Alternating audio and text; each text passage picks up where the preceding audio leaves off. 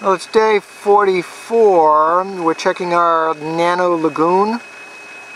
The right side panel, about six weeks in, is now home to many of these egg masses.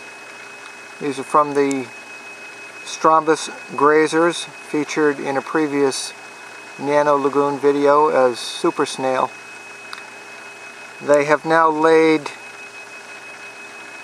we counted 22 egg masses like this one on the side panels and on the back panel. And it's a round gelatinous egg case with anywhere from four to seven eggs inside.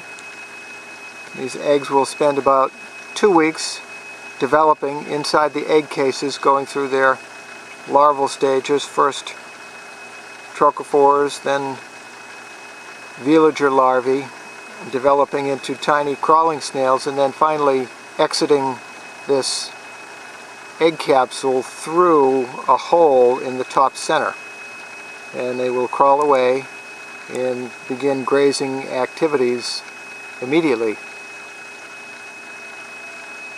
So we will have a small army of grazing snails originating from the six adult snails that we put in earlier to control the diatom bloom.